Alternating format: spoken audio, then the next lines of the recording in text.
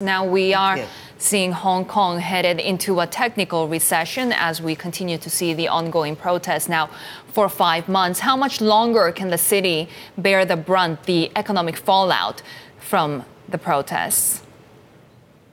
Now, the, the main problem is uh, that Carrie Lam uh, is becoming so irrelevant to the Hong Kong situation. She's so cheeky. She pretends there's not much else going on in Hong Kong except for some housing problem, and that's what uh, she focuses on her so called policy address temper has been bubbling so in Hong Kong.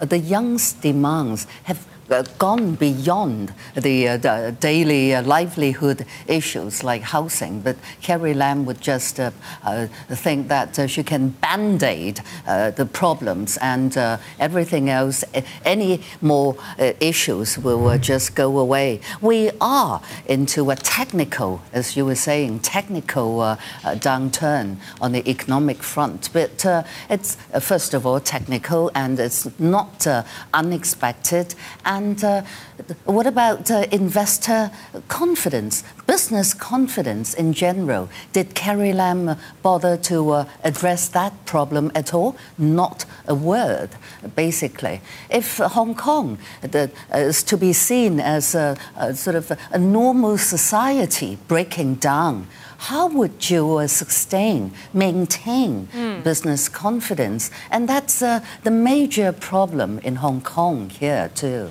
It's clear that there's a lot of discontent in the city, but can any of that really justify the increasing violence that we have seen against police as well? Yeah, exactly.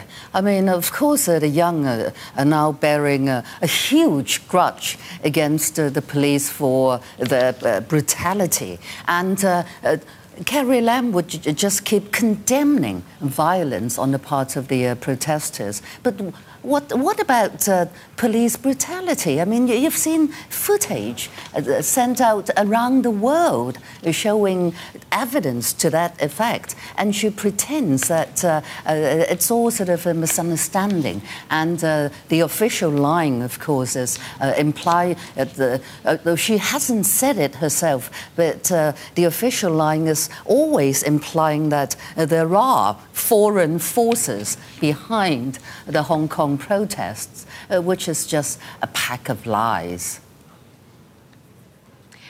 The problem is that you know you have this increasingly isolated government. You have a leader that, as you say, is becoming increasingly irrelevant, uh, out of touch, but also unable to provide a political solution to what is a political problem. The economic policies form part of it, but some of the protesters are saying, well, the economic inequality is only because of the lack of democratic process in Hong Kong. Where do we go from here? Is it possible to find a way out from this kind of intractable situation that we find ourselves in five months later?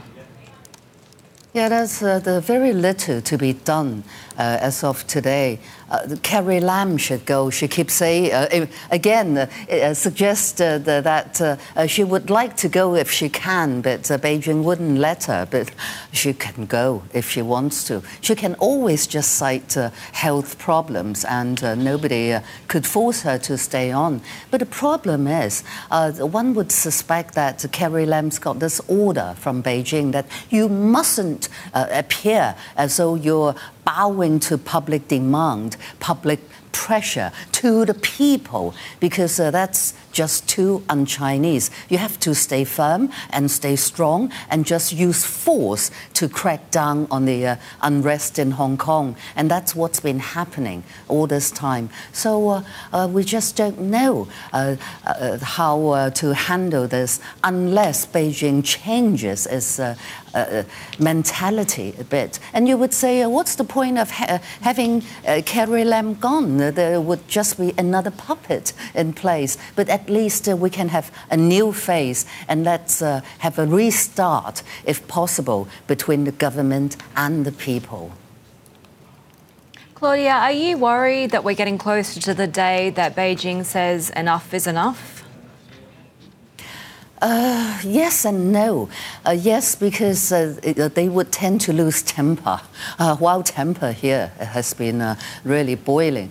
Uh, but on the other hand, you would assume that uh, while Beijing wants to claim a higher ranking, if not actually the top one, in an international community, they would need to realize that they, they, they, have to present with some moral authority uh, over the label China. You can't uh, conduct a, a military crackdown on a civil unrest in a city right? And you can't claim uh, it's a defense issue. So I need the, to deploy the People's Liberation Army into the uh, streets of Hong Kong.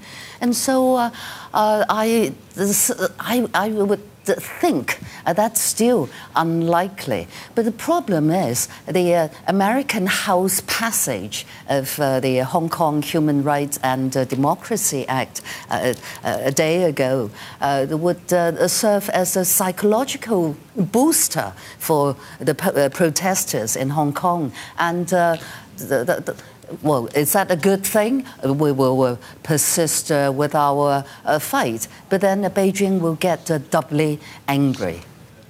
Claudia, we have heard, in fact, some people say that the U.S. bill really doesn't go far enough, that in fact it should have been the Hong Kong Policy Act of 1992 that should have been uh, brought forth. So, what else are you expecting or do you want Washington to do? And what do you expect the Beijing response to be? Well, the Beijing wouldn't be happy about it. I mean, the uh, usual, uh, a very conventional line from Beijing is that uh, foreigners, you should stop meddling in uh, China's domestic affairs. And personally, I'm a journalist by training. I uh, tend to believe more in journalistic dissemination rather than uh, political lobbying. And of course, I'm doing political stuff at the moment. So, as much help as we can get from anyone, including the uh, uh, Americans, uh, including uh, uh, the Washington government, uh, would be more than welcome because Hong Kong people are feeling fairly desperate. Claudia, who do you think has more leverage at this point? You see the Hong Kong economy almost certain to enter a recession. You see uh, potentially greater economic pressures coming down and, and the sort of gateway to China becoming more of a liability than an opportunity.